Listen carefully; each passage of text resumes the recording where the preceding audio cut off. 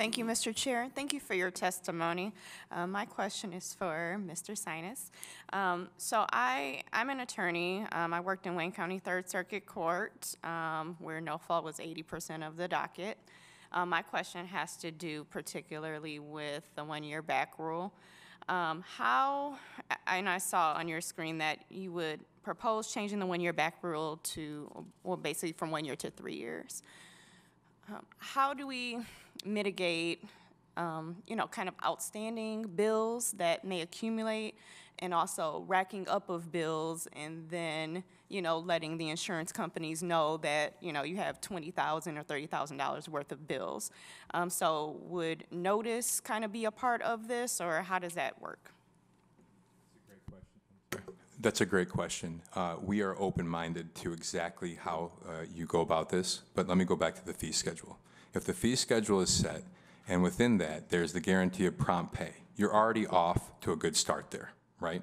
That way, you don't have this issue about was reasonable proof submitted, what's the reasonable charge? That's what stirs up a lot of the disputes to begin with. So if you get that in place, our prediction would be that would just help things get off to the right start.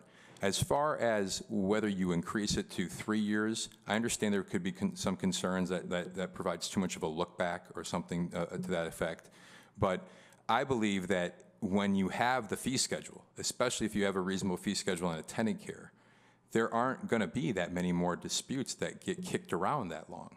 I mean, that's what really happens here. The insurance companies, even now encouraged by DIFS, want to challenge everything.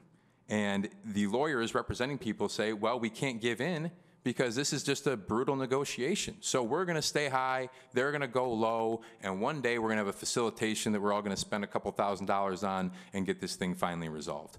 That kind of dynamic would just go away with a fee schedule. So I think that the concern about a long look back would go down.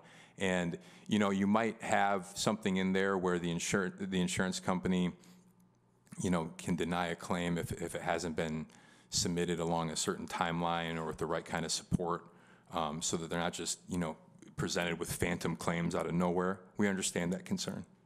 Thank you, and, and I appreciate that because you also have the prompt payment, right? You have to pay within 30 days before you rack up fines and fees, and so we want to make sure that there's notice. So, but thank Yeah. you, Mr. Chair.